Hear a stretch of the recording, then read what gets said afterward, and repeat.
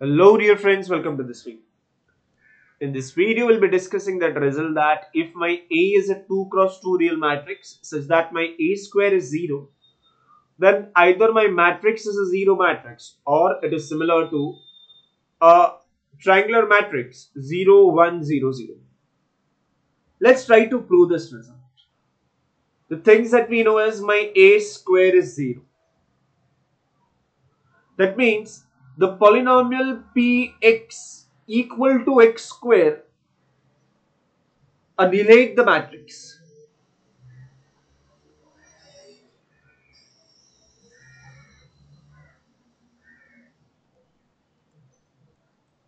And if any polynomial annihilate the matrix, then my minimal polynomial of A will divide this polynomial P.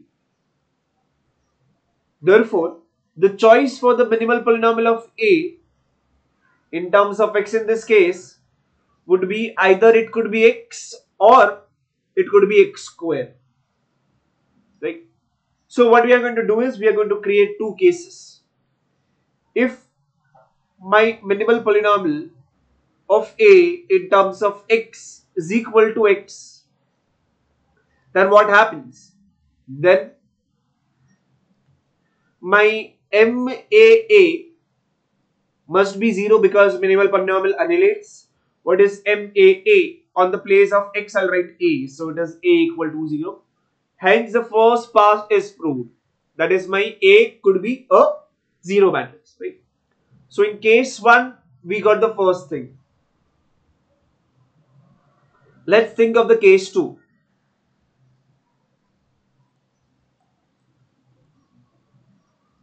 In case 2, if my minimal polynomial of a in terms of x is x square, when I say the minimal polynomial of a in terms of x is x square, I mean that my a square is 0 and my a cannot be 0.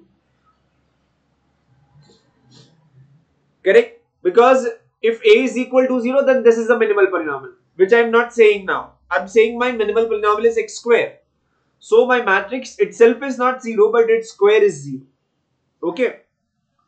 So I have A is a 2 cross 2 matrix. Right. So we know that any matrix, any square matrix is similar to an upper triangular matrix. So we have the result that every square matrix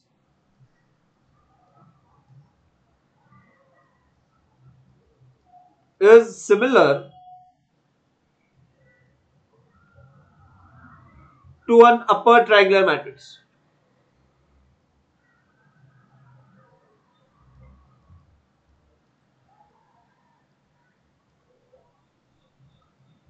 So that means whatever is my A, A would be similar to some upper triangular matrix. Let it be A, B, 0, C.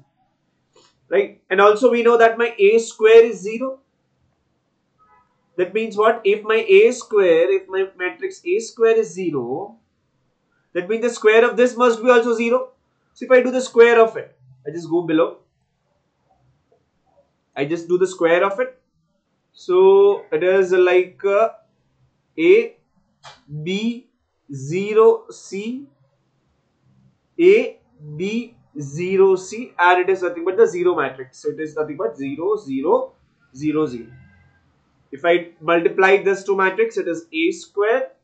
It is uh, A times uh, B plus B times C, 0 and C square.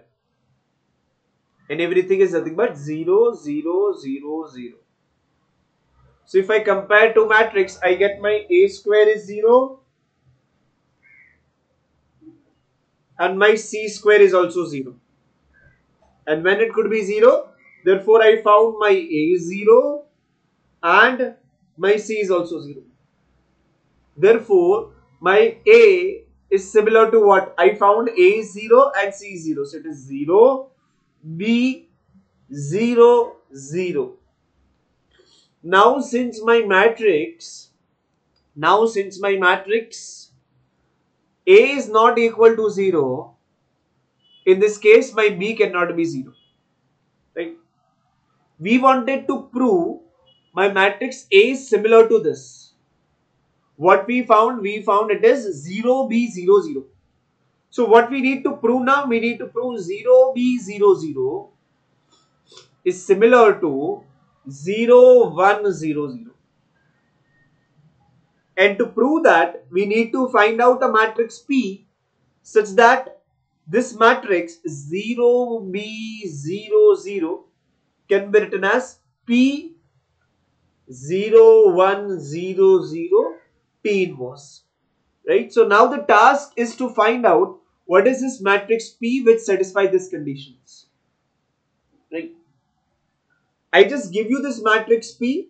It would be your task to verify whether it satisfies or not. It is B001.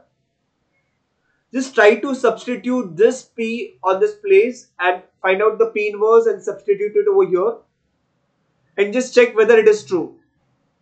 If it is true, that means my 0B00 is similar to 0100. Hence, ultimately, what we get is my matrix A becomes similar to 0100. Okay. If you understood the proof, let me know in the comment section if you have any doubt also. Okay. Thank you.